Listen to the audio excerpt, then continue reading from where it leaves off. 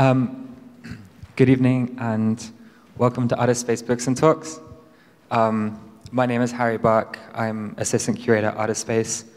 And firstly, I'd like to thank you all for coming down here on this very beautiful uh, June evening. Um, we're hugely excited uh, to present a, a, launch for Yates McKee's book, Strike Art, Contemporary Art and the Post-Occupy Condition, published by Verso. Strike Art presents perhaps one of the first significant attempts to historicize and problematize the legacy of the Occupy movement upon contemporary art. In the immediate vicinity of Zuccotti Park and the waves of protest, of protest that engulfed major cities worldwide, through the work of groups and movements that emerge in the wake of and on occasions in response to Occupy, such as Black Lives Matter, Strike Debt, Free Cooper Union, the Global Ultra, the Global Ultra Luxury Faction, and the Decolonial Cultural Front as well as through the historical lens of avant-garde and left art practice through the 20th century. Tonight, Yates is joined by fellow artists, organizers, writers, and activists Nina Felshin, Amin Husain, and Victoria Sobel, using the release of Strike Art to discuss the following proposition. If we are seeing a move from institutional critique to institutional liberation, it is imperative that an ethos of decolonization be developed in the process. So what does this mean and how do we do this? Nina Felshin is an independent curator, writer, and activist. She is the editor of But Is It Art? The Spirit of Art as Activism, and this year edited the fake New York Times, produced by Jewish Voice for Peace, which parodied the paper's skewed Israel-Palestine coverage. Amin Husain is an artist and organizer with groups including MTL, Global Ultra Luxury Faction, Decolonial Cultural Front, and Direct Action Front for Palestine.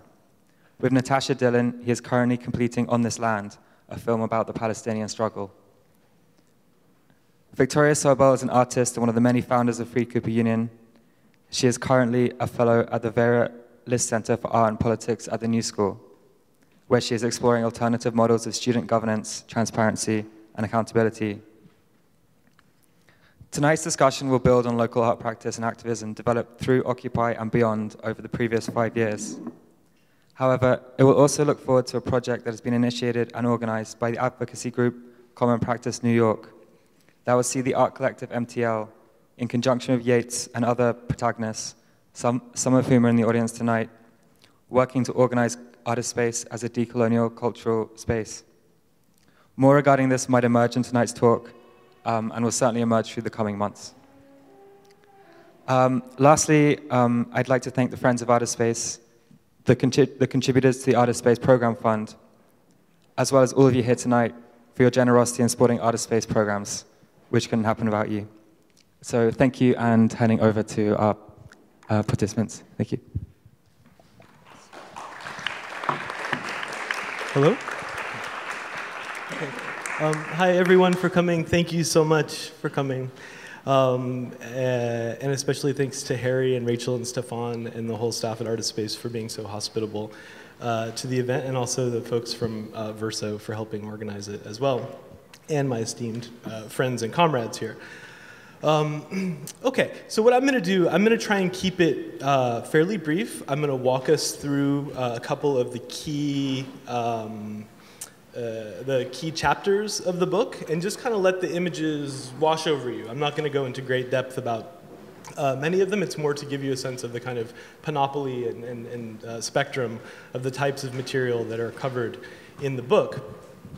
um, so the book is called Strike Art, Contemporary Art in the Post-Occupied Condition. Um, the actual book does not feature the exclamation point at the end, thankfully. So this was the original uh, cover design, and my wife said, that looks like the Jeb logo. People remember it was like Jeb, right? So thank God at the last minute Verso came through and like let me take that off.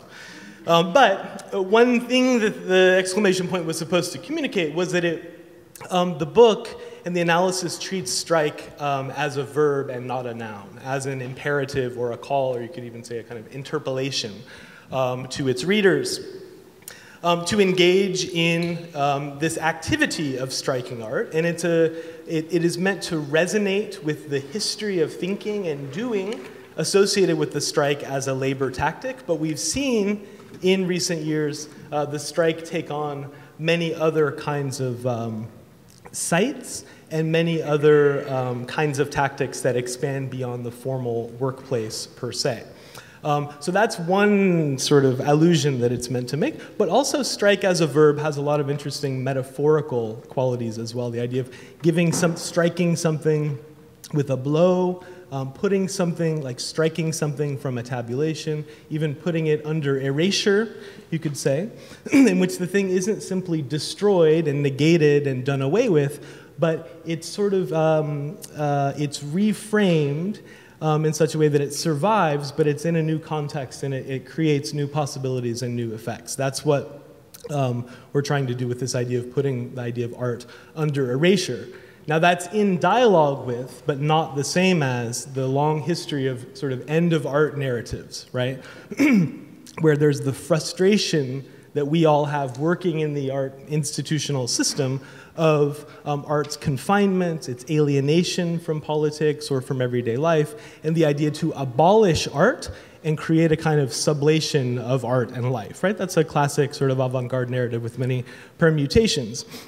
The idea of striking art, though, is not that. It is not just about negating art. It's about um, sort of pushing it in a new direction, mining it for its unforeseen possibilities in an expanded field of political organizing. Um, and so, um, so I'll just say also, uh, speaking of avant-garde histories, and I say that sort of tongue-in-cheek, the image on the cover is a picture of NYPD uh, Police Commissioner uh, Bill Bratton covered in fake blood. Um, uh, after he was subjected to what you might call a kind of action painting um, uh, in the, uh, the aftermath of the failure to indict the police murder of Eric Garner um, in late 2014 during a Black Lives Matter um, action. Okay, so I'm going to read a passage um, from the book that sort of sums up the ethos of what the, this idea of strike art is. It is written by the group MTL, which is comprised of, among other people, Amin and um, Natasha Dillon, who sadly can't be here. So I'm going to read out this passage, and then um, I'm going to move quickly through the images. Okay. So, and I must admit, there is a bit of an avant garde flair here, but just uh, bear with us. Um, art as we know it is corrupt, exhausted, and weak. We strike art to liberate art from itself, not to end art, but to unleash its powers of action, imagination, and beauty uh, that have been held captive by the art world. Art does not dissolve into so called real life, art defamiliarizes life, rendering it surreal. Our surreal spirit is less that of Breton's European vanguardism than Suzanne Césaire's freedom dream, mindful as it is of the ongoing histories of slavery, imperialism, and debt. Art here opens directly onto our ways of existing and working together. How do we create spaces that counteract the multiple forms of oppression that structure our relationships? These are inseparable from how we reproduce our lives in a material sense, whether we think of an occupied park, a collective house, a neighborhood, a citywide network, or the planet itself. Art challenges us to respond to this question with direct action for which we ourselves are responsible, rather than any pre existing institution. We strike art as a training in the practice of freedom. Okay. Um, and so, this point about institution and institutionality is something that is woven throughout the book, because while many of the practices that I survey there are operating in almost complete indifference to places like artist space or to the institutional institutions of the art system, we've also seen a kind of doubling back on the part of art organizers targeting the institutions of art as sites of organizing um, and action in their own right. Okay, so here goes the bask in the images part. Okay. Okay, first chapter I talk about um, discourses surrounding the relation of art and democracy. Um, democracy understood as something that exceeds the narrow parameters of liberal electoral democracy that uh, is kind of dominates the meaning of that term in the United States. Uh, from 1987 to 2011. And that, that time frame is strategically selected because I begin uh, with the work of ACT UP, um, and ACT UP being a direct action movement that was intimately entwined with, but far exceeded, uh, the realm of the art system and was able to leverage its resources and its possibilities. Um, I then look at the fulguration of cultural production around the anti corporate globalization movement. Um, I look at the work of people like Martha Rosler um, and group material in the 1980s and 90s, often operating in alternative spaces, such as uh, a place like Artist Space. And then I track the way in which some of those energies uh, end up getting sort of institutionalized for better or worse and in different forms in something like creative time. And I take a lot of time with the work um, of Nato Thompson, who's a sort of frenemy of sorts, you could say, um, but much, much respect to him. But um, I look at the way in which uh, the advent of Occupy ends up being a crisis for and a kind of limit point to what we know as so called socially engaged art practice, namely large, well funded institutions. Um, it's almost a kind of non profit industrial complex, you could say, of socially engaged art at this point.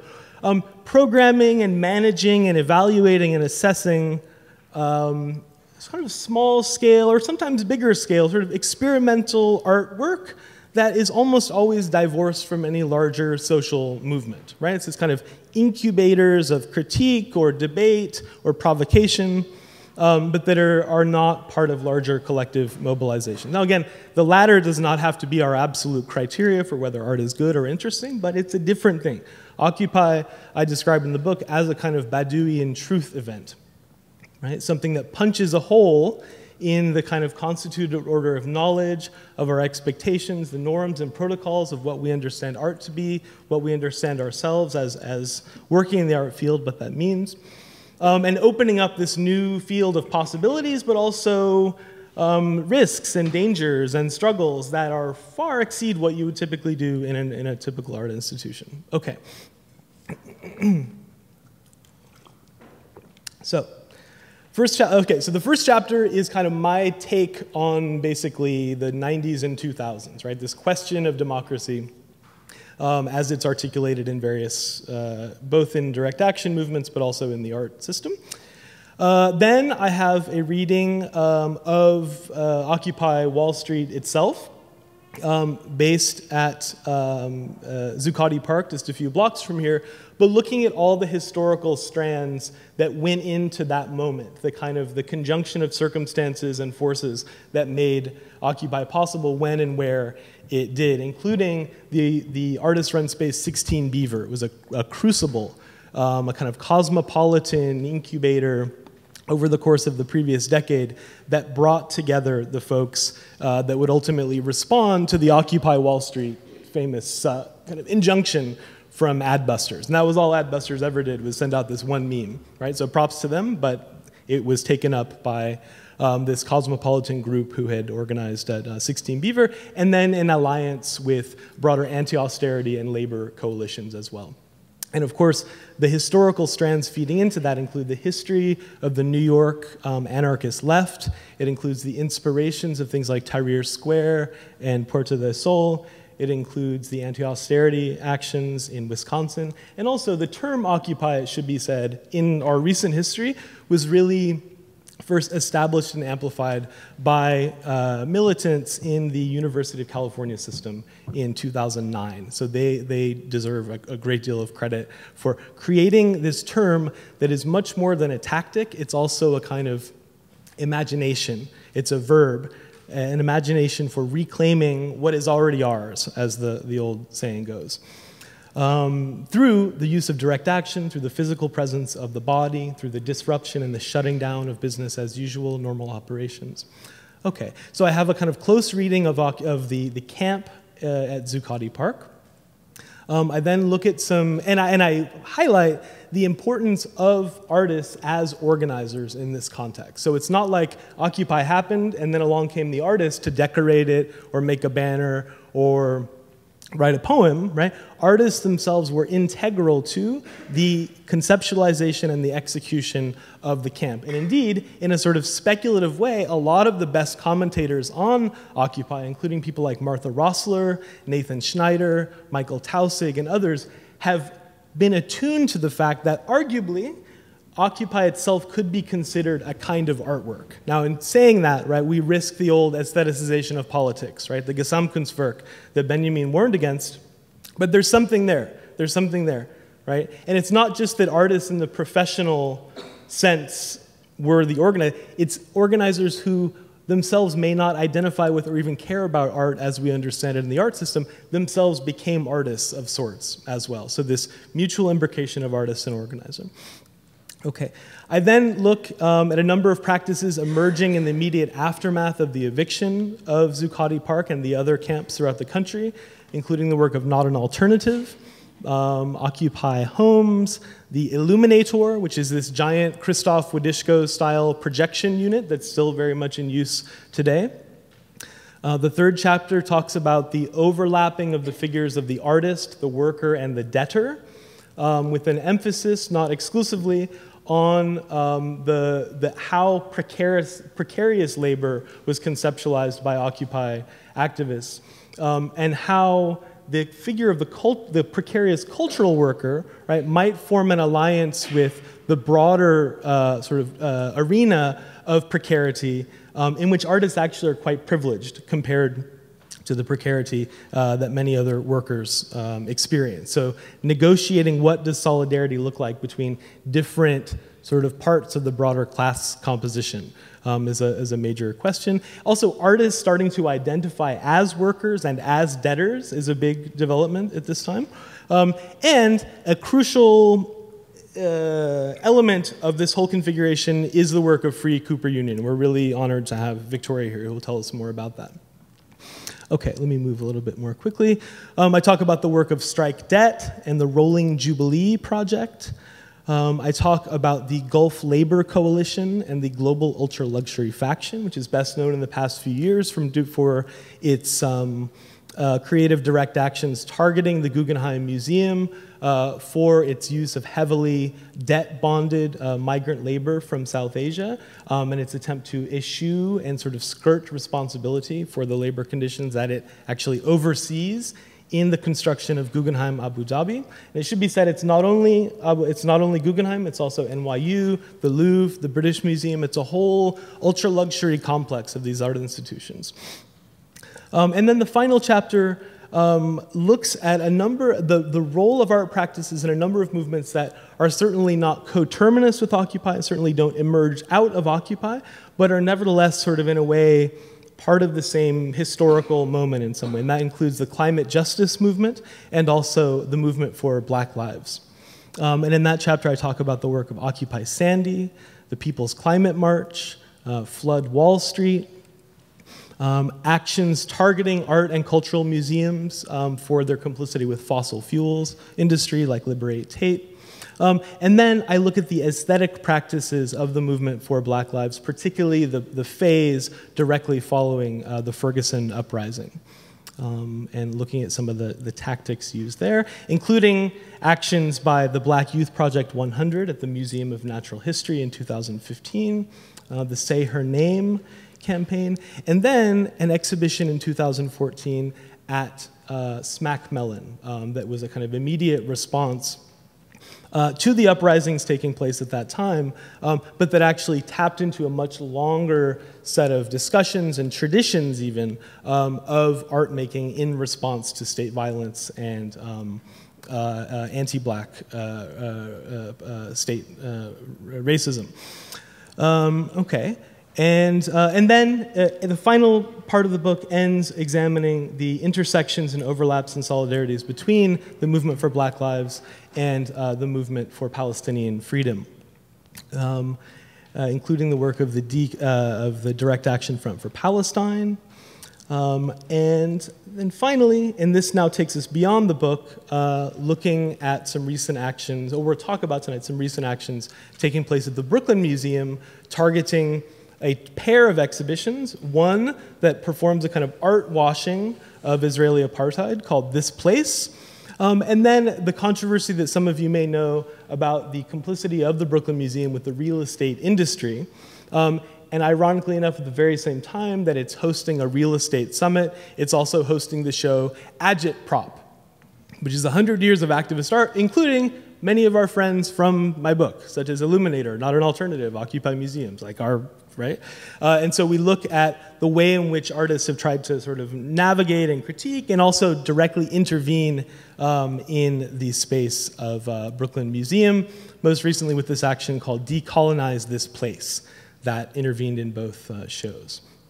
Okay, and then finally, just as a kind of phrase to get out in the world, and I'm not exactly sure what it means, but it's a sort of, it's a provocation. Um, and I must say this emerges from a dialogue with uh, the people at Not an Alternative. Um, is this phrase, it's almost a kind of art historical narrative, but it's also a, a provocation. From institutional critique to institutional liberation. Now, institutional liberation can be a very multivalent term. Um, what is an institution? What is liberation? Right? Obviously, those open up a whole deep set of, of questions. Um, to home it in a little bit, though, you can think about some of these actions that emerge out of an Occupy milieu, but that have doubled back on the institutions of the art system. You look, and so you can almost have a kind of typology. You have something like Gulf targeting 1% Museum of Guggenheim. Uh, you have a place like Artist Space that has been very hospitable uh, to kind of politically engaged art practices. And in fact, this is an image from this very room in 2012 where we celebrated the launch of the Rolling Jubilee Debt Abolition Project, um, which we can say more about, but that, that picture is right there. And Artist Space was a, a lovely and very generous uh, host. And then, um, so Artist Space, part of the broader ecosystem of alternative spaces and that tradition going back to the 60s and 70s of alternative spaces that, um, in principle at least, are not, um, uh, uh, are not um, subjected or shouldn't be subjected, let's say, to the market forces nor the imperatives of big monster institutions like the Guggenheim, and are supposed to be carving out a space for experimentation and for um, uh, for, for new kinds of uh, uh, uh, practices, artistically and politically, to emerge. Um, and then you have a place like Mayday Space in Bushwick, and Bushwick being really kind of at the, uh, the frontier of struggles against gentrification and displacement in New York in a place like Mayday Space or the Base or Woodbine. Um, these are places that are entirely autonomous from the art system at all, and yet are places where beautiful and abundant artworks that are directly embedded in uh, organizing campaigns are being produced at the moment. So there's a kind of spectrum for what this term could possibly mean, um, but that's something to kind of meditate on and, and, and speculate about. If we're going to be building these alternative institutions, whether in the shell of the old or inventing them from scratch, right, the imperative um, of decolonization, right? That, that, it comes as much from the Palestinian struggle as it does from the indigenous struggle, as it does from Black Lives Matter, has to be at the central, center of these efforts. Because as we know, the art system and the, the new art forum actually talks about this in a very um, in a very rich way. The art system, as we know it, has been a, a space of white supremacy. That doesn't, there's been much resistance and much reform and much transformation, but nevertheless, as an ecosystem, um, it itself is a, it needs to be and has been a target of critique and transformation in its own right. Okay, thank you for listening. That's where I'm going to finish for now.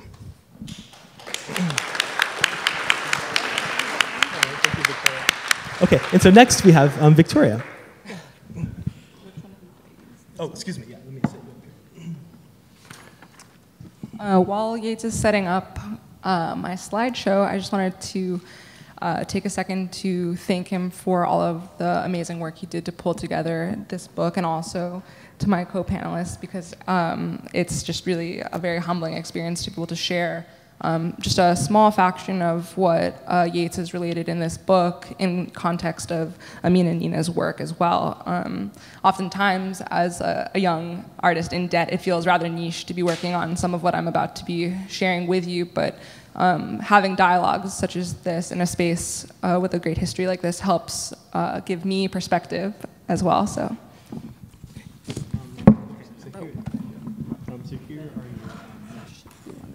The pink one, right? Yeah. So the pink one's back there.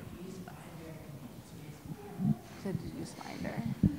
What? To use Finder? Finder? I don't know what that is. Okay.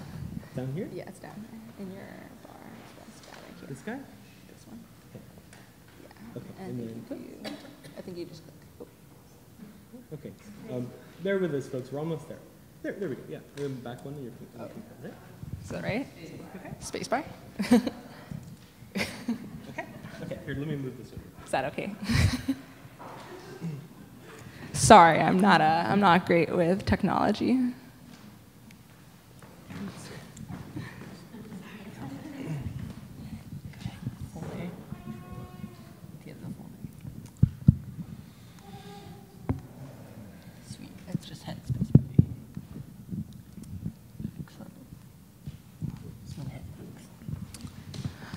Um, okay, so I just wanted to start off actually by saying that it's not really clear to me what I'm doing these days. Uh, I'm a young artist in debt. I'm actually not a student at the moment. I am not uh, part of any formal institution, though I am uh, with my friend Casey, my collaborator, uh, a fellow at the Vera List Center.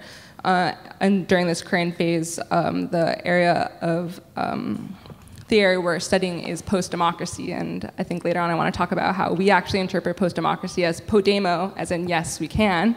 Um, but uh, not being a student and coming to talk about uh, Free Cooper Union and Occupy Wall Street, I have come to think at these talks um, that maybe I should be sharing a bit more of the type of writing and reflections that my peers and I have been um, struggling with the past few years to put in context the different works, struggles, and um, just many different efforts that people have uh, have put on the line. So I thought I'd start by reading actually a poem, and then I was going to also do a survey um, in the way of Yates. And I think I'll just try and do it rather quickly. And I thought that um, during the Q and A, if all of this is rather incoherent, uh, please ask me any types of direct questions. I've also brought a stack of uh, primary documents, both from Occupy and Free Cooper Union, um, to share.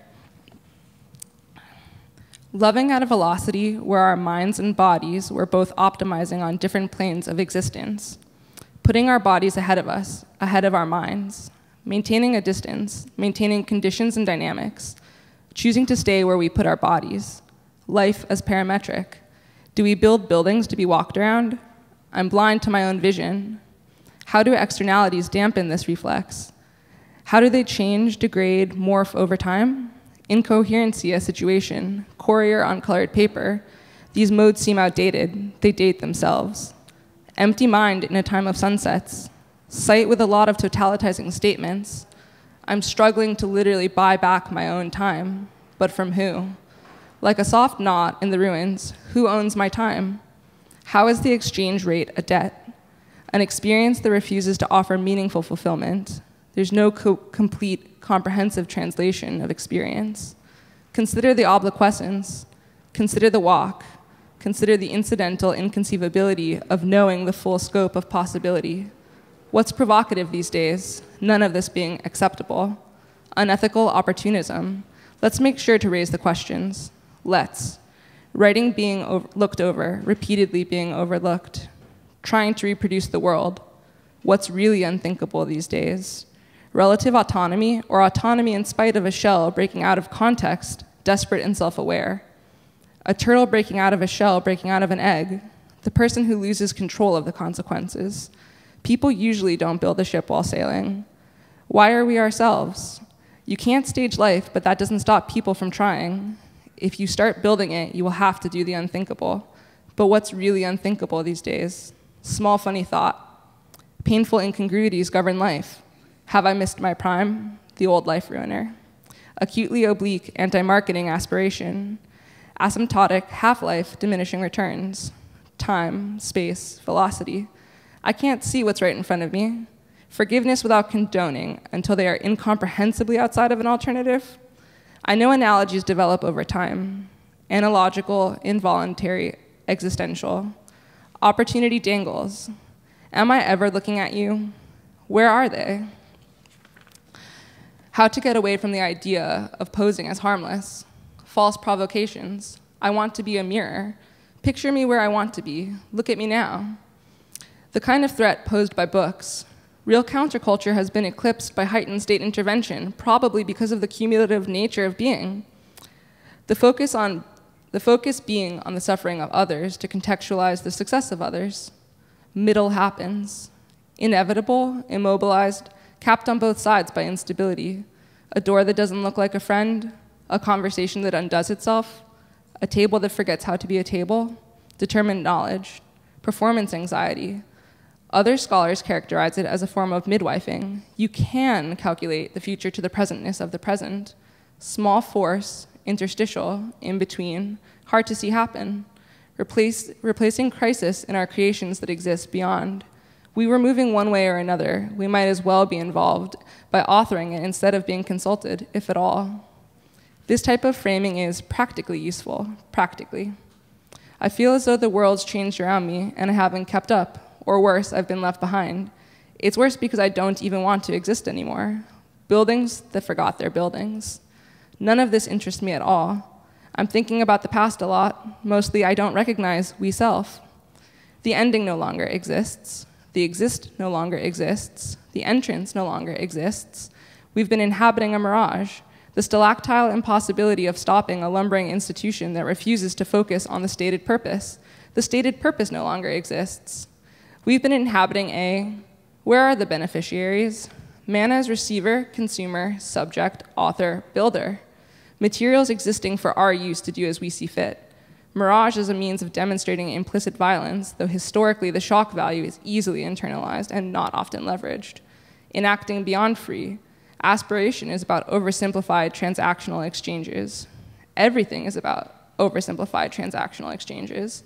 Small funny thought, painful incongruities govern life. Incoherency is the historical actuality of persons and events. How could we have no idea what I like these days? Reflections. Um, and so that's something that uh, I wrote with a bunch of my peers, uh, thinking back on many of our experiences, having been thrown uh, into actually Yates has a very good way of putting it, not the art world, but the art system, and being a young artist that chose to involve myself in the art system via an institution, being the Cooper Union, that was crumbling around me, um, I've begun to think a lot about, and actually Cooper Union is just this tiny little triangle in the bottom corner. I've begun to think a lot about space, temporality, um, the layout of the land, and just how tiny, uh, but and tiny distilled, but also meaningful. All of the different, um, all of the different efforts that Yates outlines in his book are.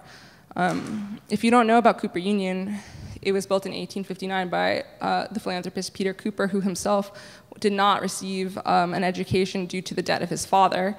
Um, it came to be actually the tallest building in New York City, being six stories tall at the time in 1859, and offering a free education to women, people of color, immigrants, uh, and the likes, and that being a very radical move at the time.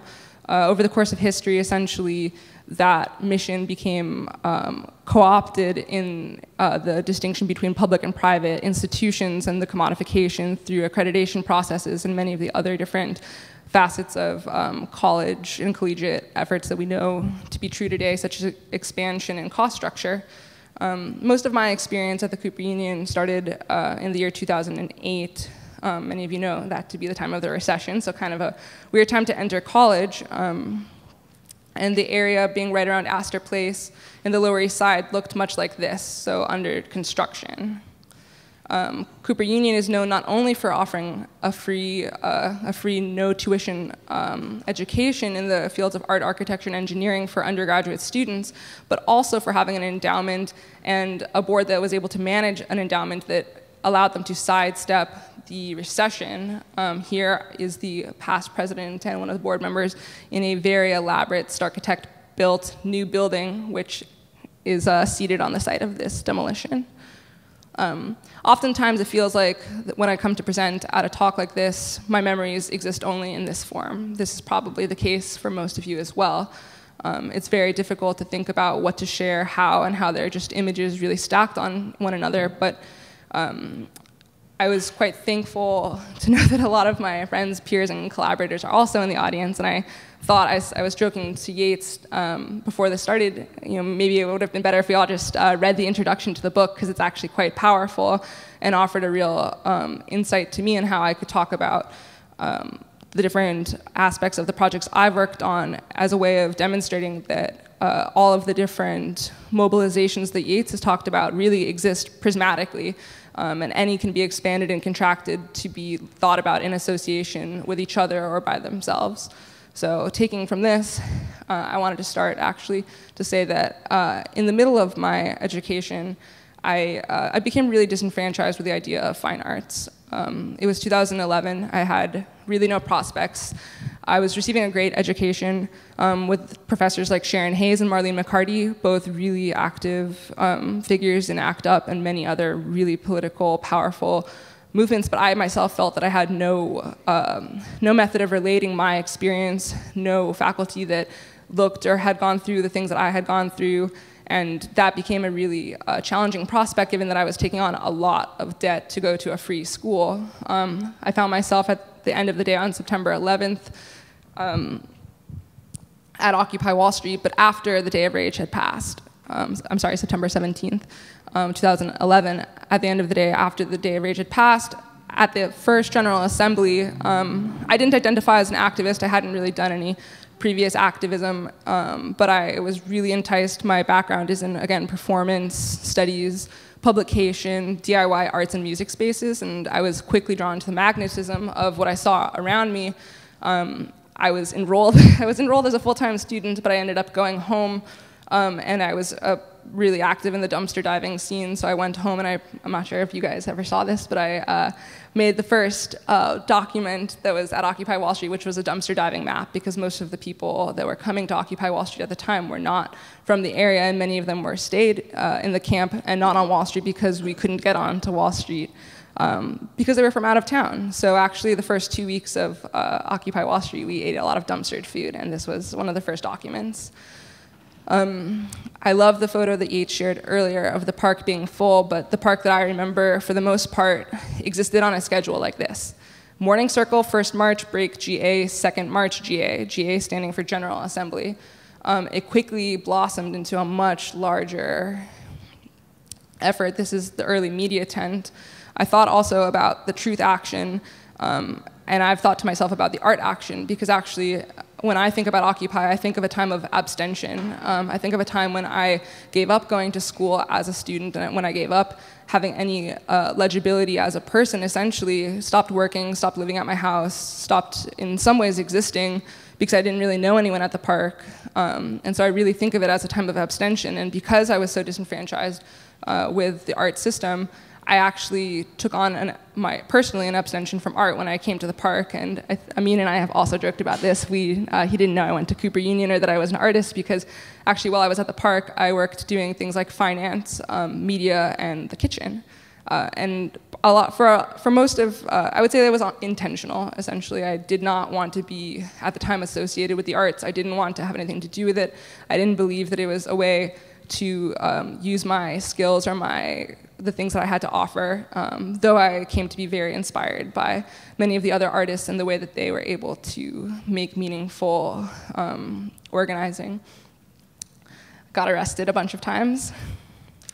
Um, again, I helped set up the financial structure, which ended up being a fiscal non uh, fiscal uh, sponsorship, which actually ended up being kind of modeled around the country at different occupations um, so that people could have different access to ways of organizing in a more long-term uh, way.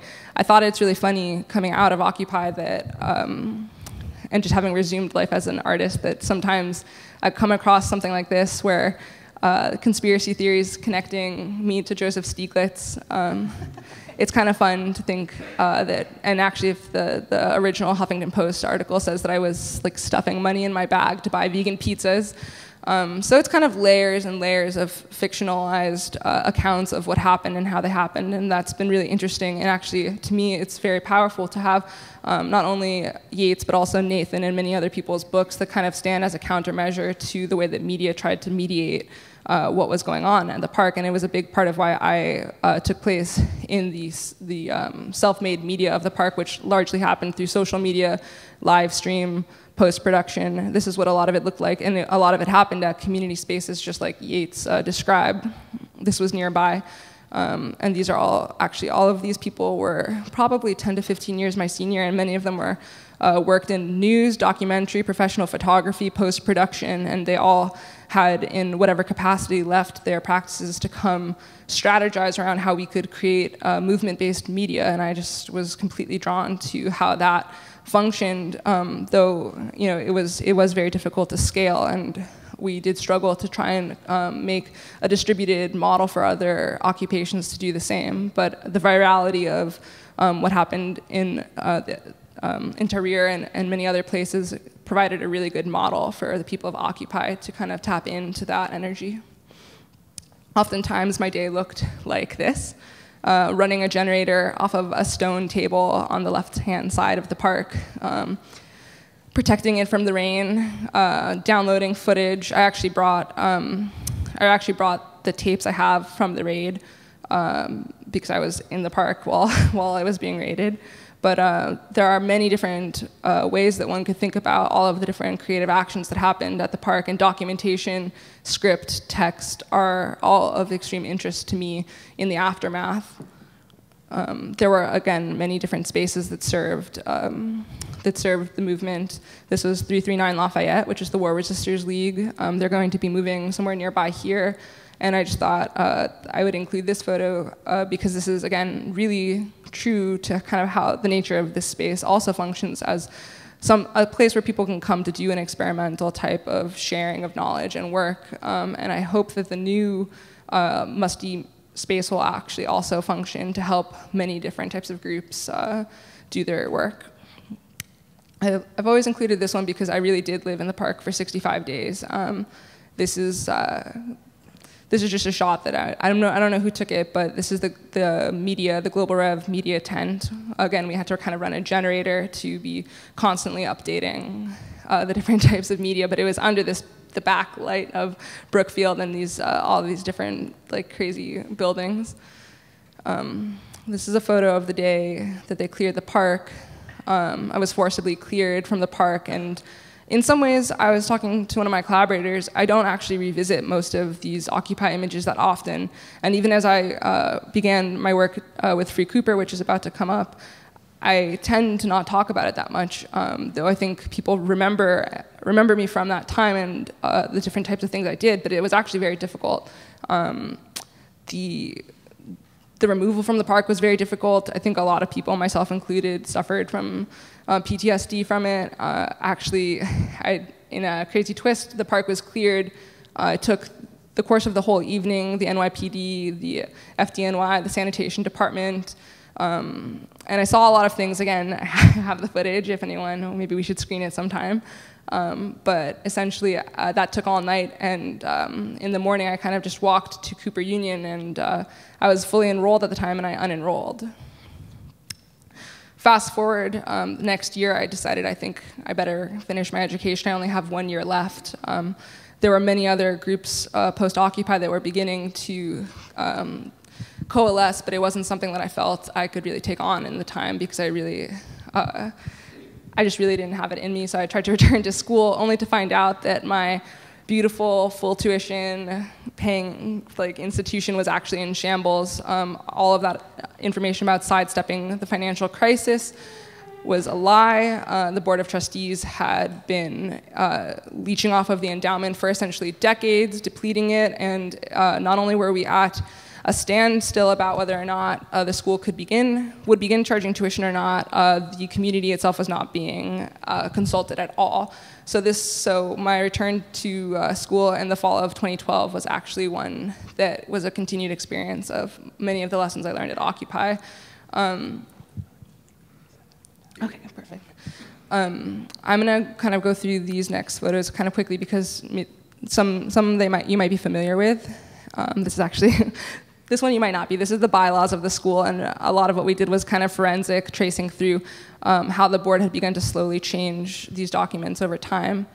Um, this is perhaps, these photos are perhaps the ones you've seen in the news, and they're the ones of um, creative direct action um, that Free Cooper Union came to be known for. I'm just one of many, many, like hundreds of people that were involved, and um, it wasn't just uh, Cooper Union community members, it was actually all of the people from Occupy that I had worked with, all of the local community members, people across the country, people from Quebec, um, people from many different institutions uh, that were lending not only solidarity but actually tactical help on the ground, um, whether it was legal assistance, parades, marches, interventions. Um, this is another demolition. This is a quite small photo, but that's actually the students during, during a, uh, an occupation. We actually did two. One was a 10-day occupation of the clock tower up here, and the next was a 65-day occupation of the president's office, which would come a few months later um, upon the announcement that the school would begin to charge. Um, this is one of my favorite um, actions, which was students wrapping the board of trustee in a, a transparency parade. So that's Saran wrap. So it was a demand for transparency and accountability. Um, I just wanted to mention that we did actually take a lot from Occupy. Uh, I was able to bring in a lot of people as facilitators, trainers, coordinators, support, logistics, and many other, and artists, again, a lot of us being art students, um, to collaborate on many of these actions. Uh, and we weren't just demanding that our school be free, it wasn't about securing anything for ourselves because actually we would all be grandfathered into our, um, our full scholarship program should the school start to charge. Really, we were trying to make a point that uh, there wasn't actually any process by which this change was happening, and actually it was it stood something that I think um, when I think about the one of Yates' charges about um, how we can de decolonize um, arts institutions. I have two thoughts, and one is that we need to think about um, diversity beyond inclusion, and the other is that actually um, in movement spaces, losses tend to be quite communicative. So that is to say that uh, once Cooper began charging, many, many arts and non-arts institutions stood to benefit from, uh, from the media's display of this as a failed model right? To say that this, this can't work, it's an antiquated thought, when in reality there had been very rigorous, granular research done into how the school could sustainably remain free and actually how you could scale other free institutions. But that was not the choice that was being made because the board wanted to take out additional loans to, um, to pay off other expenditures that they had taken. Uh, and so actually, if we, can if we know that losses are communicative, it actually stands to follow that most wins are isolated. Um, and so around the country this year, I didn't include that many slides about it, but there have been very many student uprisings and um, many of them have had very major impacts on their campuses, but they're often written off as one-offs or in isolation.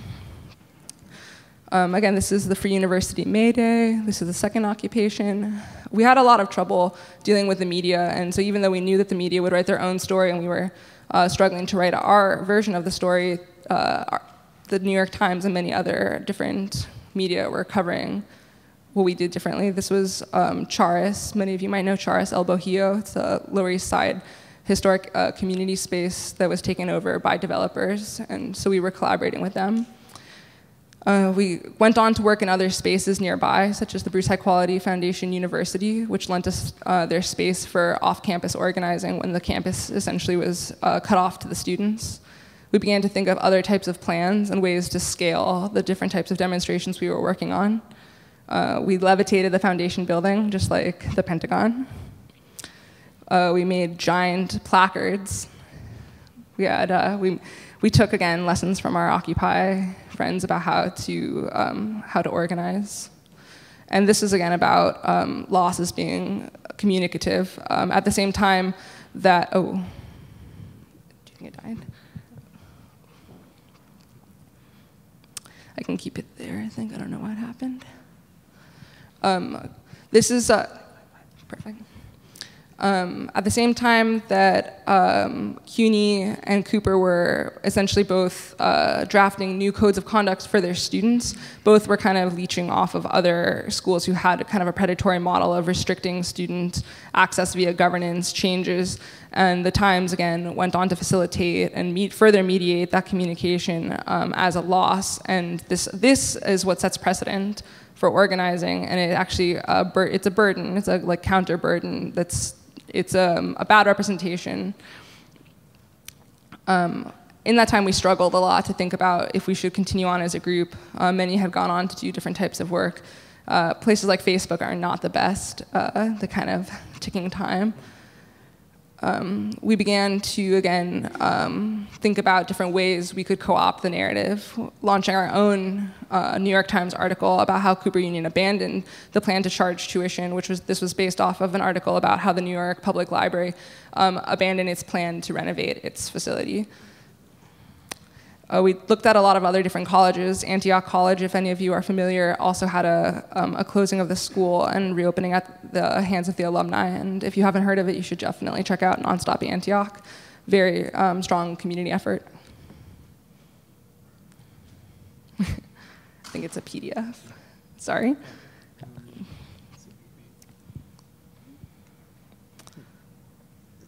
And essentially, they had this idea um, of nonstop Antioch, which meant that even though the school had actually uh, physically been closed that they would have a nonstop effort in um, reestablishing it themselves. Um, and actually, it ended up working. The school reopened its campus, and they just graduated their second class and are on their way back towards accreditation. But this idea of a nonstop effort was very poetic to us.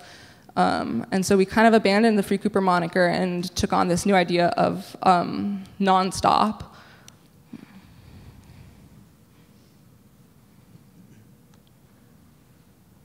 Oh, I think it's going up. So these look familiar here? Yeah. Okay, it's okay. Sorry.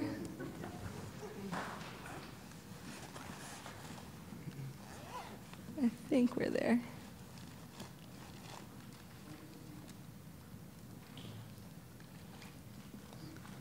Sorry, Casey, I know I'm not doing it right. what do I do? Oh, I think it's me. It might be because it's about to. Sorry, I think we're at 3% battery. Um, no, we're just gonna plug that. It's okay. okay. Thanks, everybody, for bearing with us. Sorry.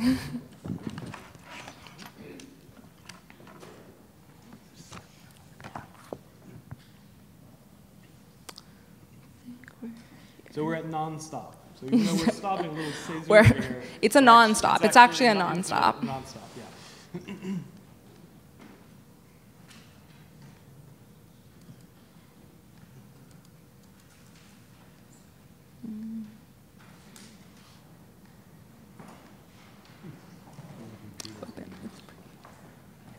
Sorry. Right? From 38. Yeah. Yeah. From the folder though. 38. Yeah. Okay, and just select down.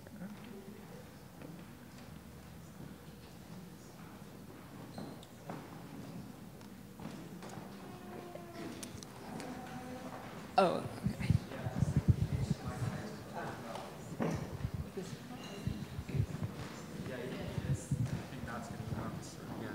Okay. Okay.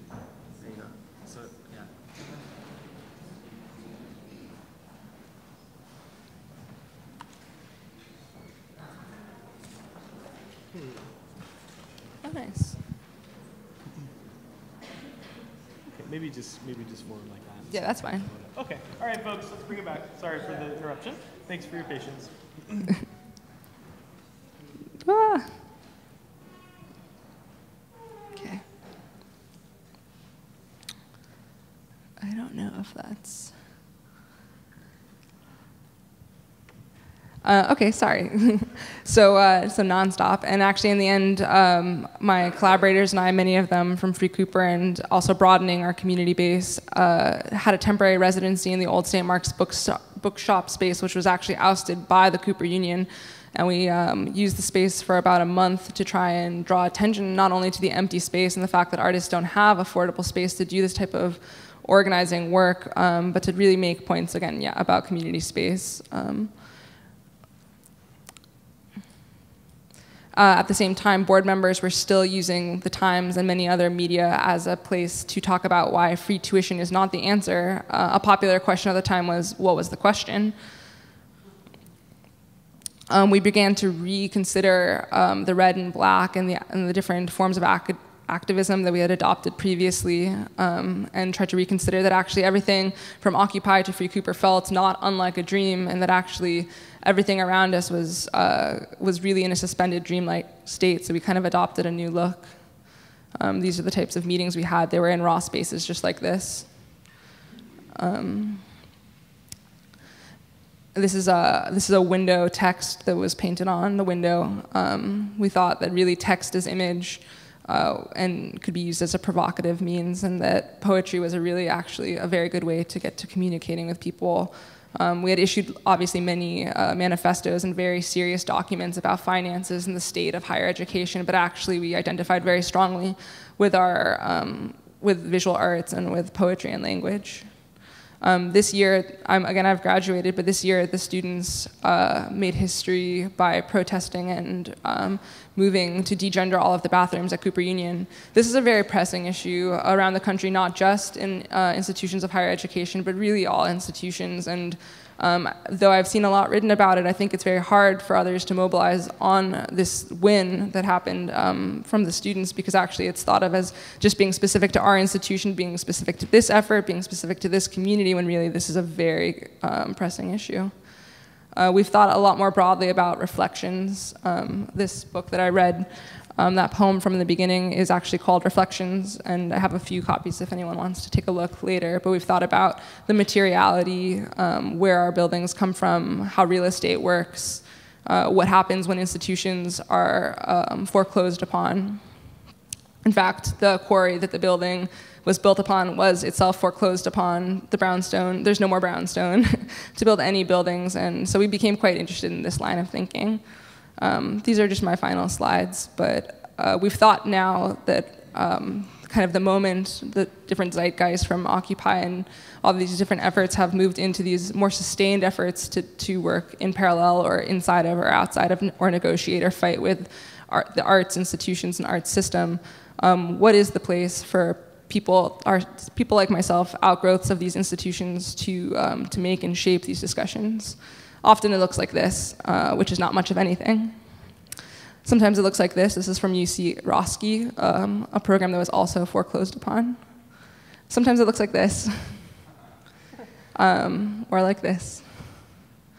Um, sorry, this is quite small, but another, I just wanted to include this as well. This is Simon's Rock Study Group on Institutional Transition and Mission. It's a very, very interesting text that was authored by uh, faculty and students at Simon's Rock uh, on their own occasion of their own accord, and it was actually adopted. Their their process was adopted by the administration because it was so successful.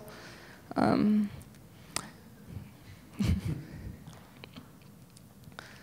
um, I did want to bring this one up. I was actually just talking to Yates about this at the end, just to think about um, how arts institutions, whether they're publications or, or brick and mortar institutions, have come to be talking about some of the same things that we're talking about today, but in a very different context and with very different players. Um, it's, a, it's perhaps a point for a different discussion, but I thought it, it deserved inclusion.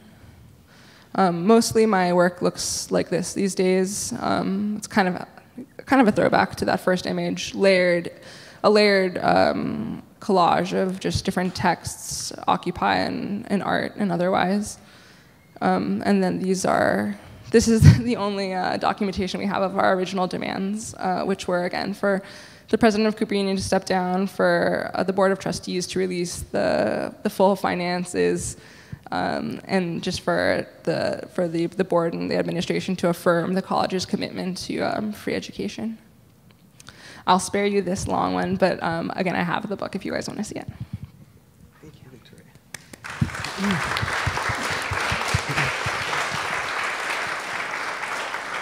Uh, think I'm okay.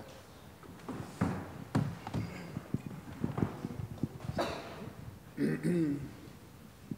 one's yours? The hard drive's in.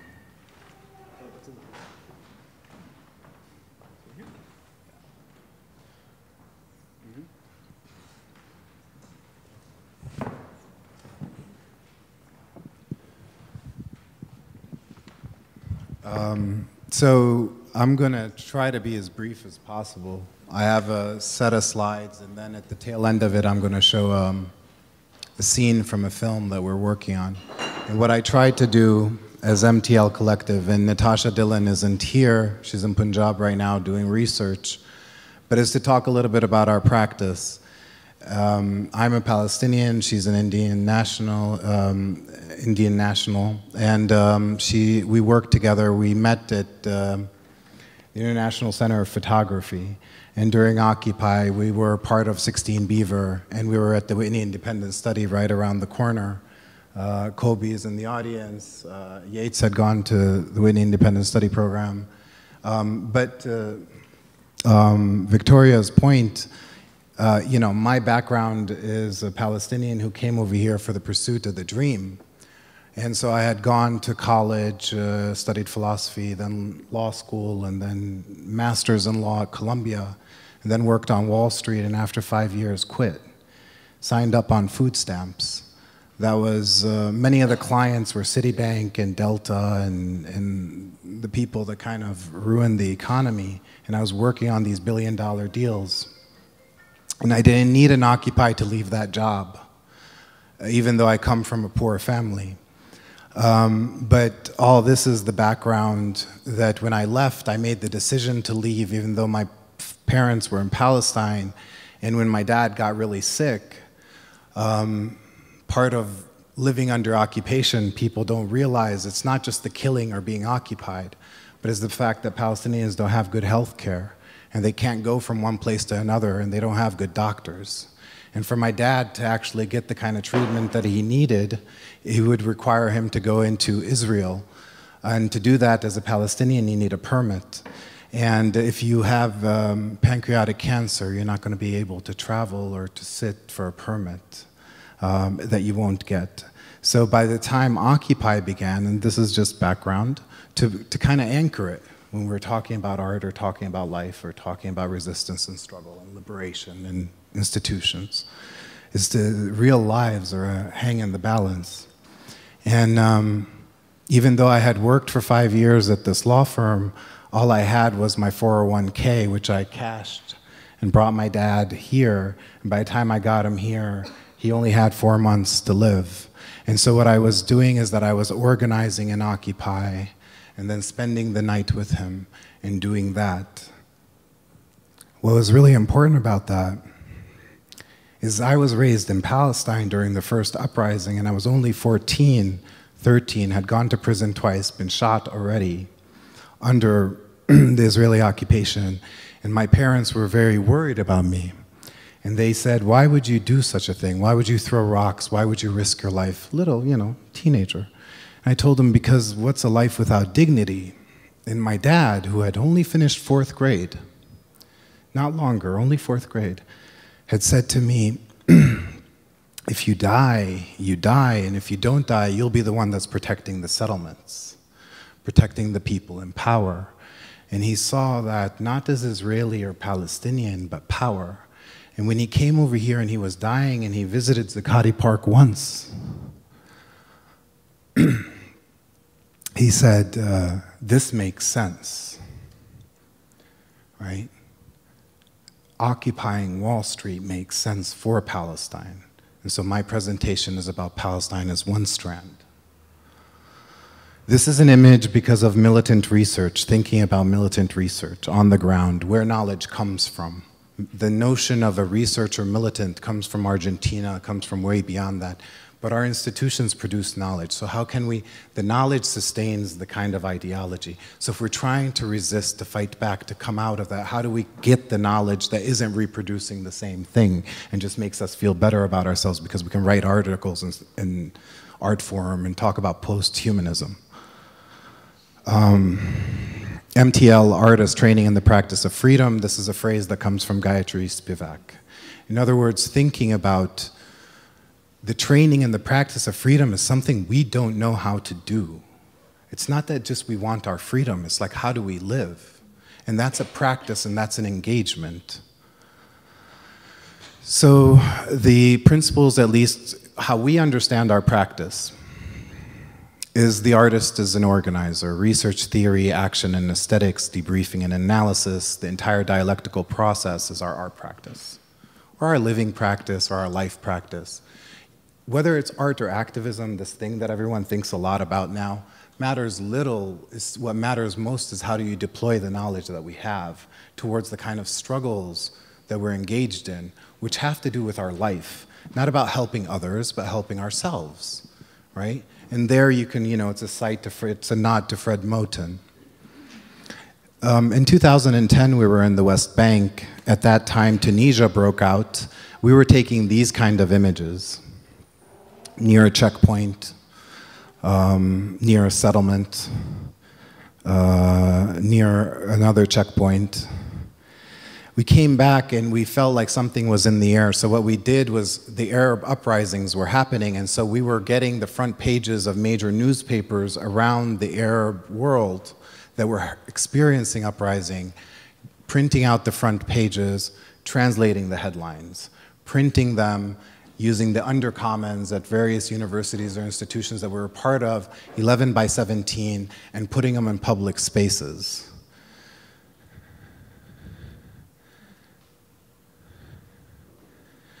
Bringing the rock as a notion of resistance. The rock has its own mythology, has its own kind of understanding, but at least in the Palestinian context, people threw rocks as a form of protection, self defense, get the, the thing away.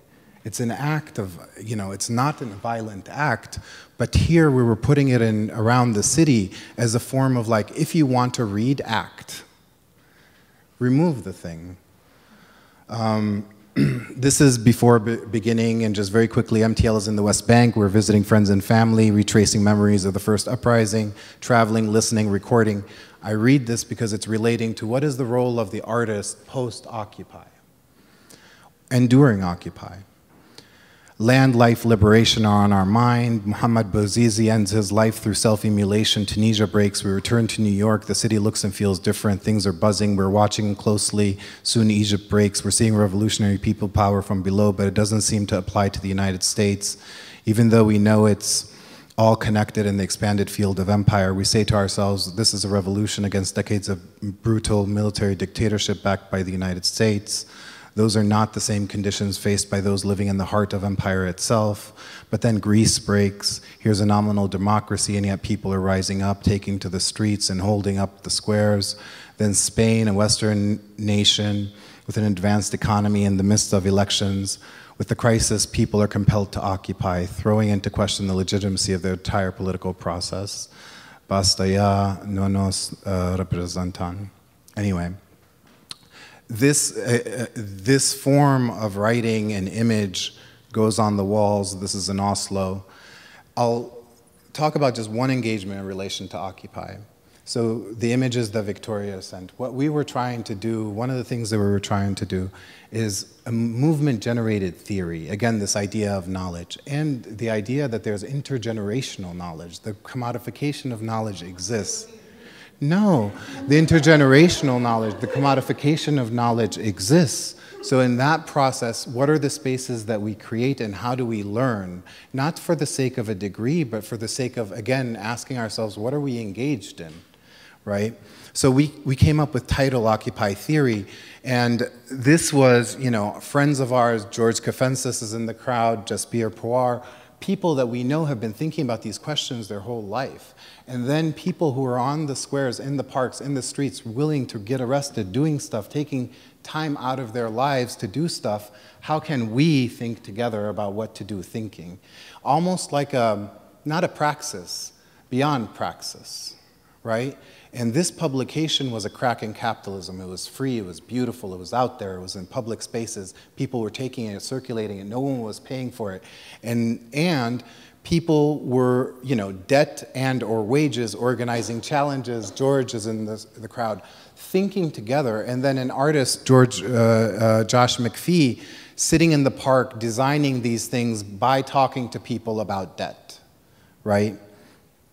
Um, also, Silvia Federici commenting against that. Short pieces, accessible, thinking not just theoretically, but how does it apply to the moment, to the now? Small steps. Um, and then in imaging here, where it's prostitutes meet to discuss forming a union. Um, indebted and in debt, we want land, not money. Uh, a history of doing. So, but also thinking about decolonization. And which, you know, decolonization, I think we should think hard about what it means, right? Because everyone's talking about decolonization right now. But, you know, part of how I feel it's very important is a rearrangement of relationships and desires, right? And that's, you can't undo a history. But the question is, is you can't sit with your privilege and then say you're fighting for the people that used to be on this land. Because in fact, 3% still exist. They're rendered invisible. So what's the role that we engage in in Manhattan? Colonizer as lender, Free Palestine, Occupy Wall Street, strike debt. 20 people worked on these 2,000 words. At the, this was the last publication, but it's empire on its head. This is why the conversation about Bernie is great but limited, right? So, creative time, own issue, NATO, and the like. But we were in Palestine again, and it's the slow, sure death of Palestine, and we were doing this, these things which relate to the final thing that I'll be screening Palestine cartography of an occupation, multimedia. What is a refugee if there is no nation state? thinking about these questions critically. They're important to think about right now. You see the, refu the refugee crisis, but very few people are talking about borders have mattered very little for a very long time unless you have power. Drones are all the time flying. All of these things are happening. So borders, what are they what are they in relation to? In relation to our bodies, in relation to our relationship, not in relation to capital.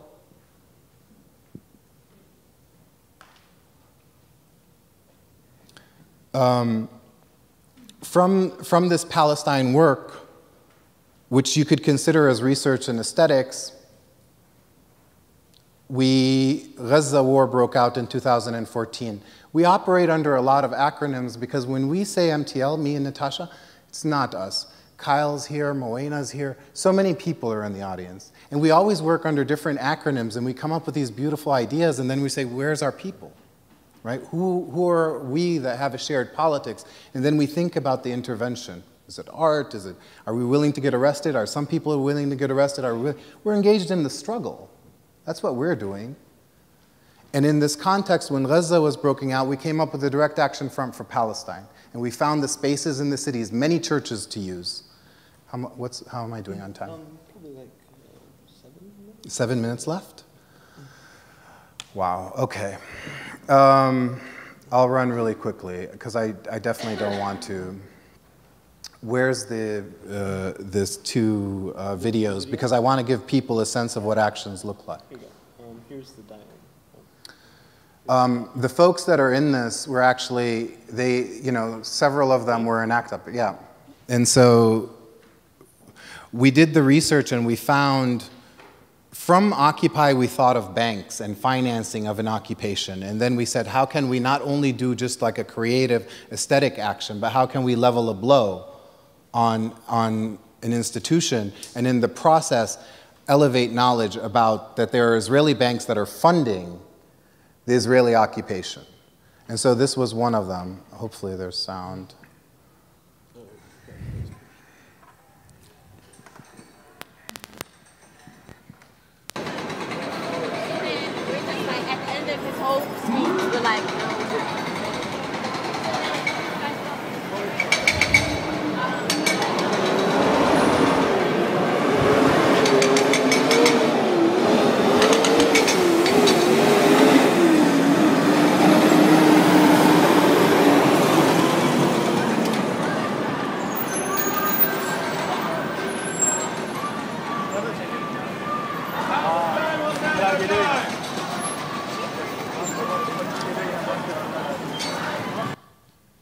So that was an action. It was one of many, and then the other video. But maybe show the two stills and then the video. Mm, yeah. So this was a 90 foot by 45 foot banner. All the organizing around this happened offline. No phones, no cell phones, no email, no whatever. In the basement of churches, bought with cash, worked on for three weeks, no sleep created an alternative diversion, uh, uh, diversion on the Brooklyn Bridge and um, dropped it off of the Manhattan Bridge. And Kyle Goen, Gaza Love, he's the, the artist right over here uh, at the wall. Uh, no arrests, even though there was a risk of federal charges. This led a viral tweet going out. Um, as far Egypt, India, it was amazing and heavily covered here. So,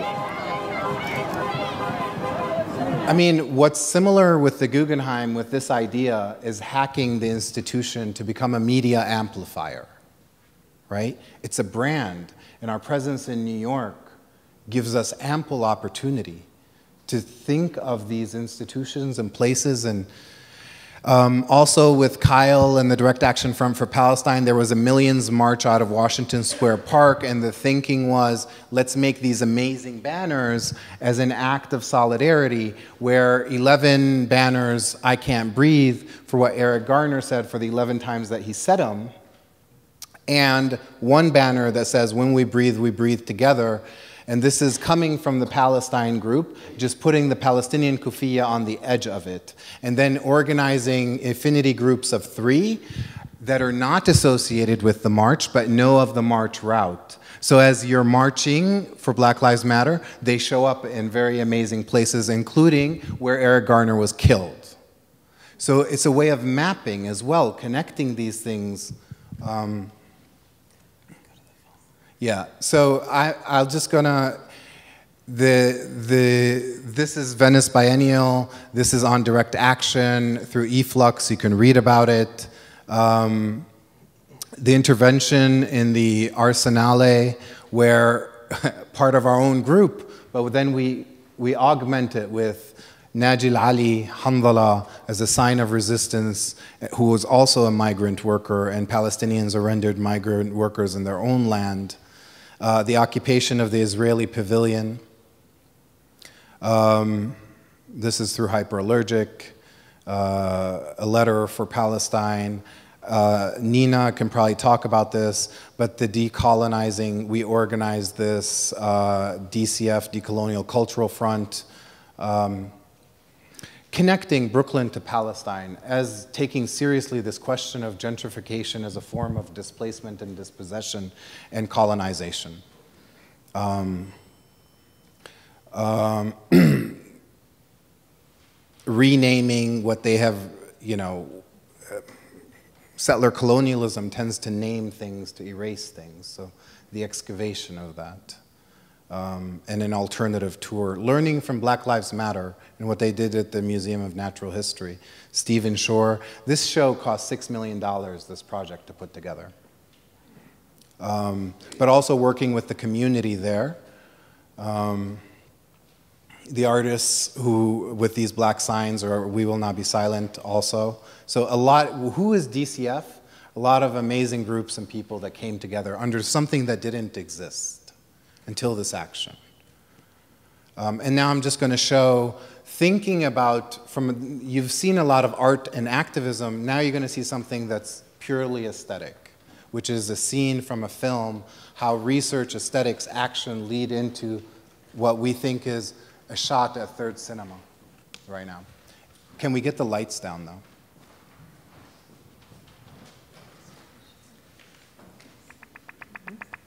Is it up? Is the It's separate, it's this. So you're going to open it. So just one, I need to contextualize this just a slight it's okay. Bit. Okay, so this is Aida refugee camp, which is right next to Bethlehem. Uh, Jasbir Puar is over here. She was there, I think, uh, during this trip, but not at this funeral. A 25 year old Palestinian was killed in front of a settlement coming home from the university. This scene shows up 10 minutes into the film, although you don't know that. You, don't, you won't know why he was killed. The, the beginning of, the, of, of it is just landscape shots that kind of thinking of serial, aka serial killer, uh, Masao Adachi, thinking of uh, Sweetgrass for uh, the um, sensory ethnography lab, thinking of uh, several films that I can reference that we can talk about later, but this is the scene.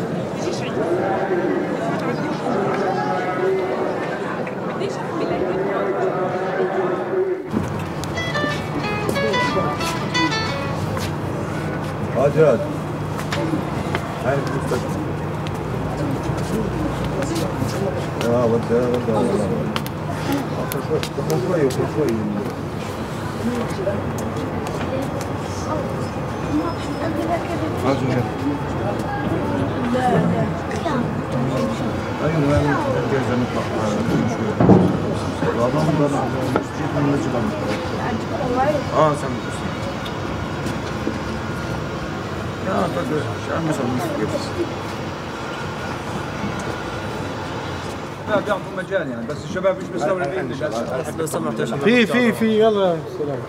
ارجع لورا ارجع لورا. يا إخوان نترجاكم رجاء. ارجع لورا عطوا مجال لاخوان لو تسمحوا يعني الله يرضى عليكم أعطوا مجال العفو اعطوا له وراء. الله يرضى عليكم ارجع ارجع. أيوه يلا تفضل. العسكري عايده الله يسعدك بس في عايده بس في عايده توديع في عادة يا حبايب التوضيع بس في عايده بترجاك خلوا الجماعة يسووا شغل. لو سمحت. لو سمحت. بس لو العسكر. مركوا العسكر اقفوا على الجناب لو تسمحوا مركوا العسكر. لو سمحت والتوديع في عايده يا علاء سوي طريق سوي طريق. في وقت أيوه في وقت روح يا زازا. فيش خليهم يشتغلوا الجماعة. هذا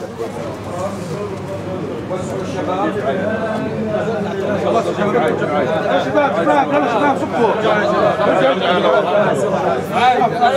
خلص طلعوا طلعوا يا عم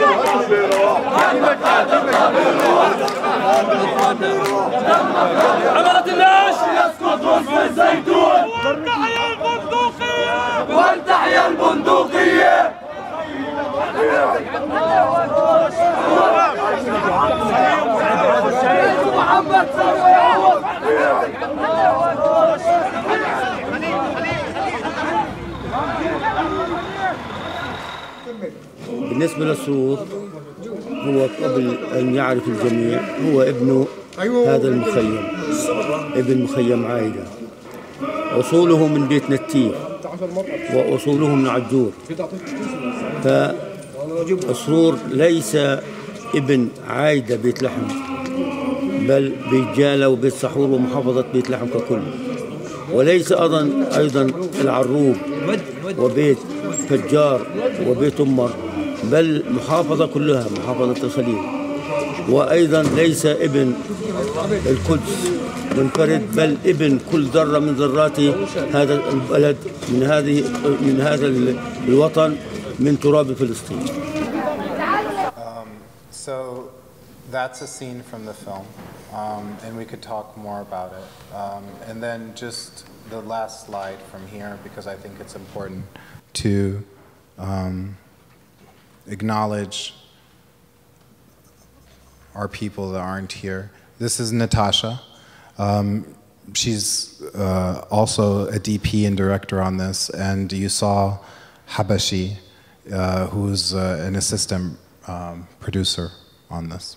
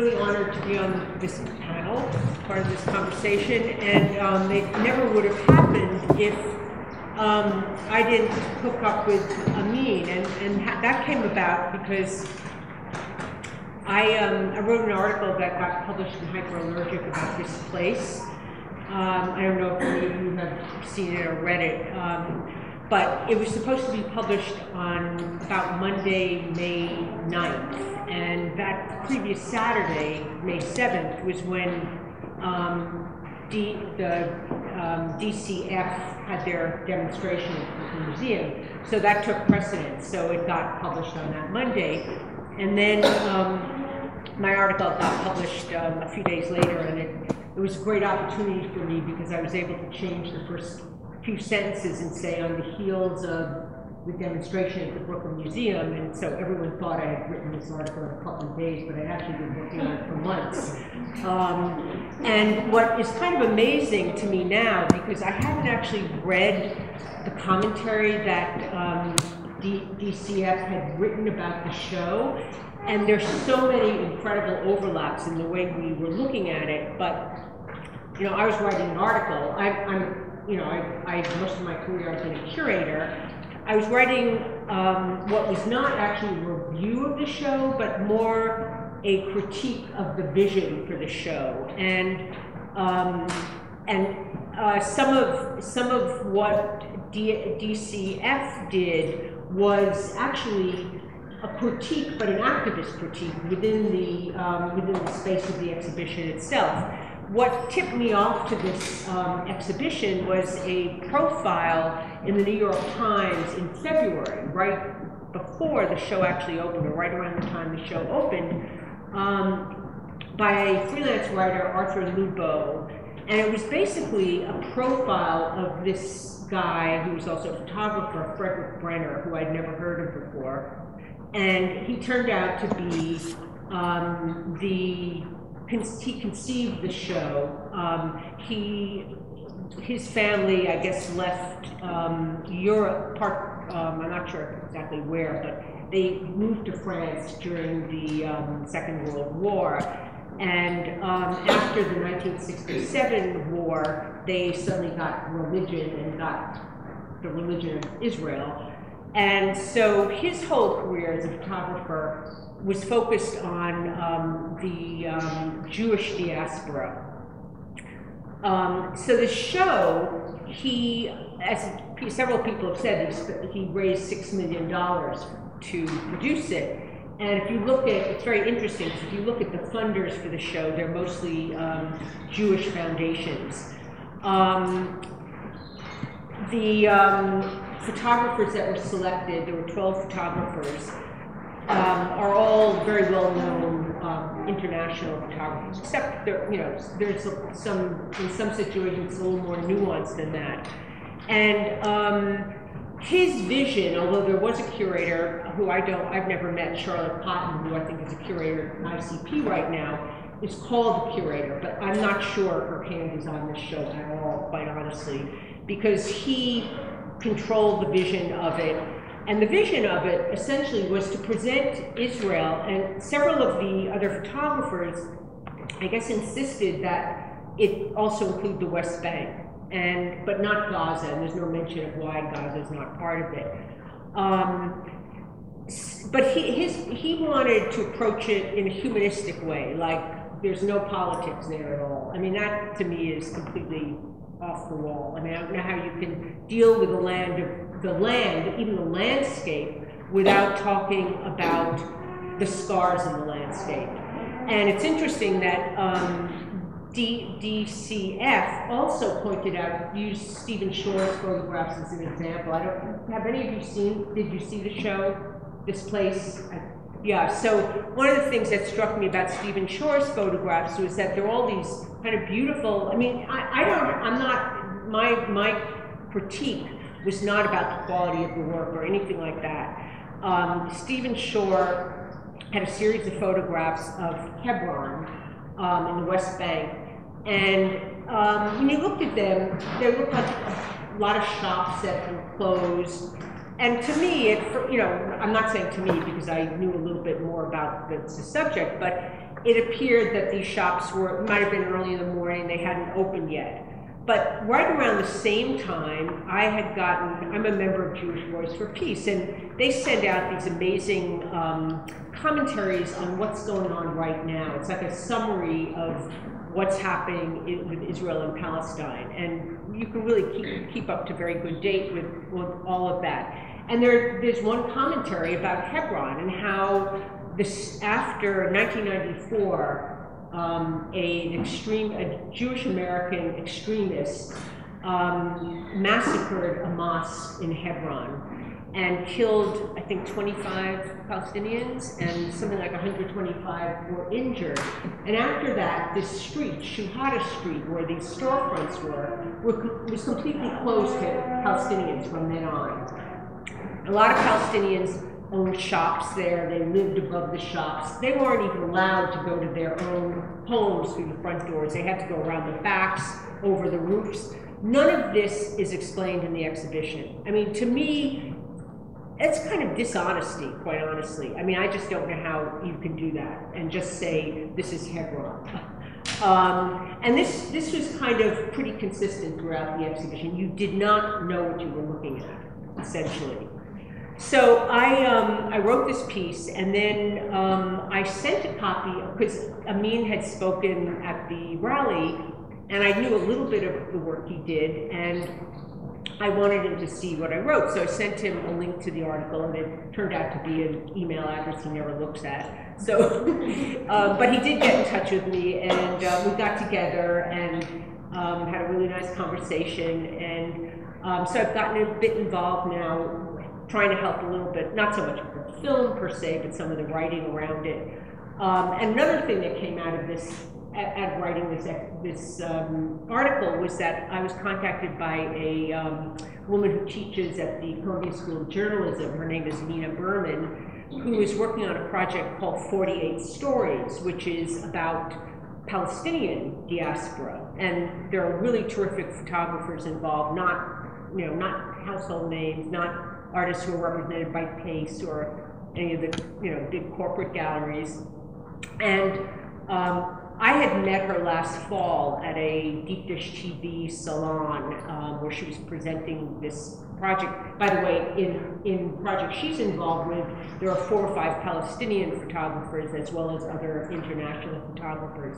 And I was, you know, said if they want to do it in New York, I would try to help find a venue and maybe work with them a bit. And so after she wrote to me, she read the article, and I said, hey, why don't we approach the Brooklyn Museum? And um, so this hasn't happened yet, and I'm not sure it will happen, but it's been great for me because this is an area I'm really, really fascinated, interested in, and would like to see more happen. And I think something that needs to be mentioned also um, is you know, it's not, we, we were talking about cultural institutions today. I think another, another institution that needs to be um, brought into this conversation is the press, um, the media, because it's fascinating to me that this, this profile of um, Brenner that was written in the New York Times was so uncritical, so it was just like regurgitating a press release, essentially. And I also felt that, I mean, Roberta Smith's um, review of the show tended also not to be terribly analytical. They gave tons of space to the show on these two different occasions. Now, there have been several other, I don't know if any of you saw a show at, um, it's actually an Israeli gallery that had sort of pop-up gallery within um, one Rivington Street gallery. It was on the second floor, and it was this fabulous video installation of um, a mosque that had been, that is partially used as a synagogue. And they showed now, because it's under the control of the IDF, and I mean, it's, it's, it's when I say controlled, it's monitored. And so all the Palestinians who want to go in there are, are, are led in by a team of IDF officers, military people. I mean, these are just people who are going to pray. And it's, it's kind of outrageous. And she shows this, this video, um, just shows the absurdity of it. So that didn't get covered at all by the New York Times. And there was also a show at um, Storefront for Art and Architecture, which was really quite good by Fazal Sheikh, who was in the This Place exhibition. That too was much more, um, again, it was it, it was much more, there was much more of a critique in the work in that show. And it was a beautifully installed show. They used, I don't know how many of you are familiar with the, store, with the storefront, but years ago, um, Vito Acconci designed the door, the whole entranceway. So it actually, it, it became the wall, the, into the separation wall. And so you actually had to walk, not, there's not one door, but there were different places you could enter and you were very conscious of crossing over, uh, you know, sort of crossing a, a, barrier in a sense to see it. That also did not get reviewed by the New York Times. Um, so this is something that I think we always have to be very aware of, that the media is, um, you know, the media is the mainstream media. Um, and just to segue from that to uh, something else I was involved with was, again, this was a um, Jewish Voice for Peace project that happened, I can't remember, it was like early February. It was a fake New York Times um, that, you know, probably some of you know the Yes Men have done a fake New York Times. And we're very, very grateful to the Yes Men. I actually helped with some of their, their newspapers. Um, but this was really a parody of New York Times coverage of Israel Palestine. And I think one something that happens is that if you don't know what's going on on a daily basis in in Palestine, the West Bank, and Gaza, you have no idea that home destructions happen on a daily basis. Evictions happen on a daily basis. Um, there's one Bedouin town that's been destroyed a hundred times. People keep the, the um, people who live there keep coming and building it, build, rebuilding it. None of this stuff gets reported. So when you go to see a show like this place, if you're not deeply involved with these issues, you don't really know what to look for or, or, or what's missing. And that's, I think, extremely dangerous. I mean, it's an extremely dangerous way to present photographs or any other kind of cultural material. Um, I think there, there really needs to be an analysis. Um, you know, someone could say, well, that's just supposed to be a show of beautiful photographs. Well, I, I just don't buy that for a second. Um, so, um, let's see, what else? I also, I mean, just in terms of my interest in Israel-Palestine, I was a um, co-founder of, an organization called Jews Say No right after, right around the time of the 2008 assault on Gaza. And um, there have been a lot of kind of, I wouldn't say quite like the stuff you've been doing, but a lot of sort of attempts to um, do aesthetic, kind of perform, performative demonstrations of not just standing, but interacting with people, um, and so I think this form is, you know, is just really incredibly important. Um, oh, oh yeah, oh my book. um, this book goes back to 1995, and it's interesting. Even Yates here, he, he, he put me in a footnote in his book. I'm just, I'm just teasing you. but um, a lot of a lot of what we've been talking about today, it was it was what the way this book came about actually is kind of interesting. Um, I was asked to co to curate a show in 1991 on terrorism. 91, right? And it was going to be at the um, Maryland Institute College of Art, and there were two or three students who had died in the Pan Am 103 crash over Lockerbie, Scotland, in I forget what year that was. Remember? No. And so when I came into this, I I didn't exactly know what their definition. I mean, I sort of assumed that their definition of terrorism would be slightly different than my notion of terrorism, or at least it wouldn't be as inclusive. And one of the joys of working on this project was that I actually was able to help educate the director of the museum and other people in the administration there as to the concept of state terrorism.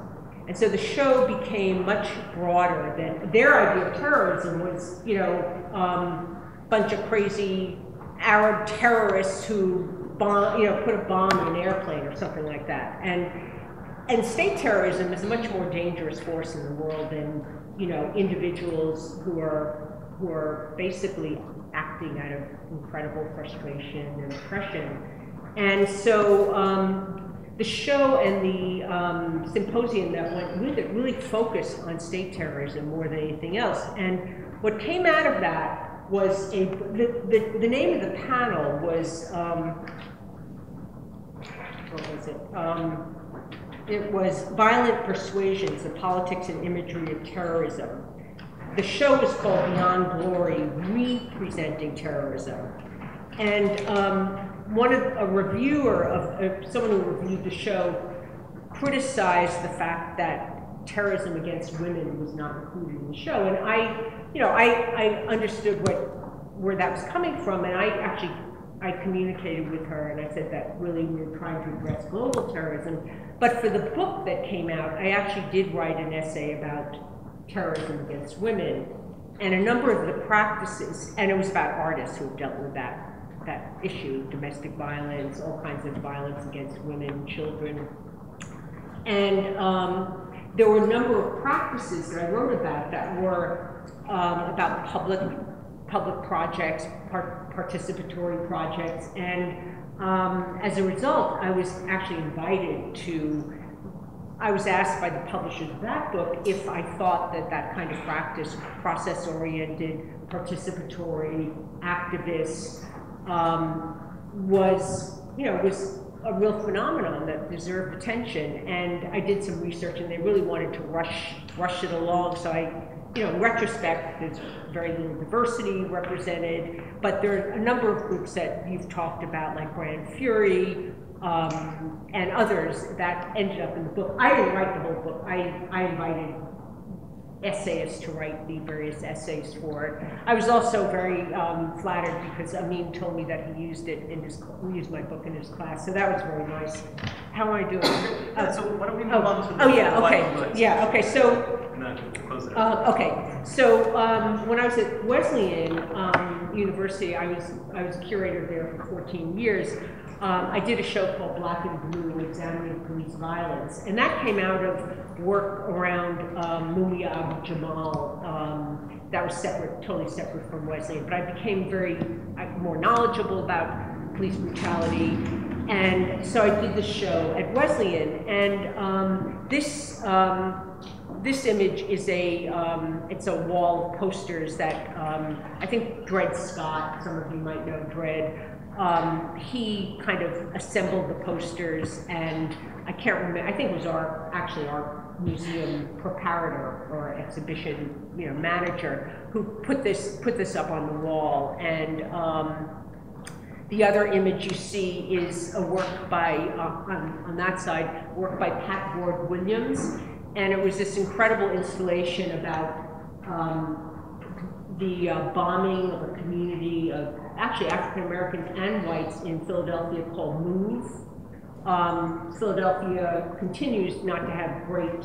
Um, I mean, at, at, that time it was Frank Rizzo was the chief of police, and he was extremely rash, extreme racist and reactionary, and um, they uh, and Mumia Jamal, who lived in Philadelphia and was a journalist, wrote very critical pieces about the Philadelphia police, and as a result of that, they really went after him, and you know, I I am convinced he was basically framed.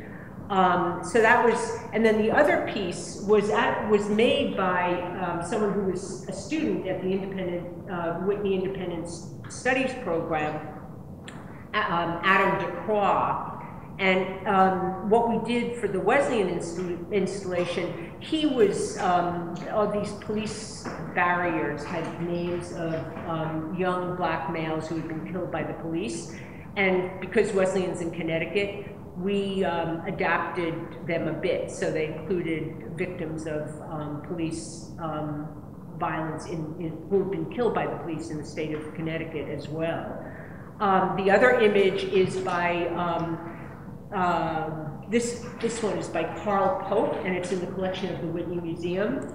And I just have to refer to, because it's a long title, um, some of the greatest hits of the New York City Police Department, a celebration of meritorious achievement in community service. And it was meant to be a comment on the fact that in certain police forces, when um, when officers have killed gang members or black, in most cases, you know, victims of color, they actually give each other awards. And so these trophies, the piece spanned the years from like 1949 to um, 2000 uh, to 1994, and the trophies were designed in the style of the way athletic trophies were designed at those particular times.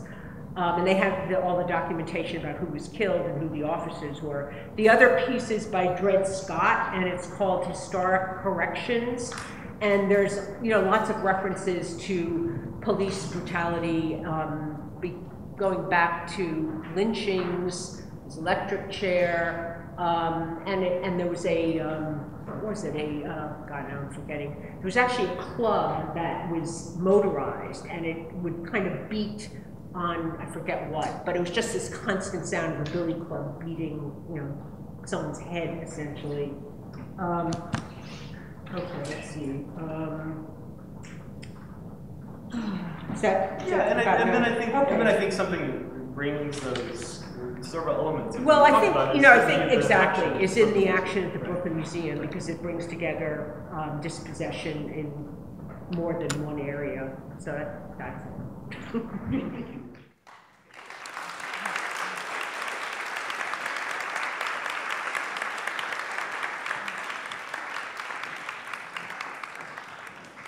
Okay, so I think maybe folks who want to duck out is probably fine. Although we we can take some questions, but really ultimately we're going to have some beers and talk and whatnot afterwards. Um, Harry, did you want to? Did you have any closing frame? Oh, okay, yeah, yeah. So if anybody has questions or thoughts, the microphone will go around. Um, okay, so should we? Any anybody? I know. okay. All right, let's give it a couple, 30 more seconds just of chill, and if anybody wants to jump in. If not, okay. All right. Okay, last chance. Okay.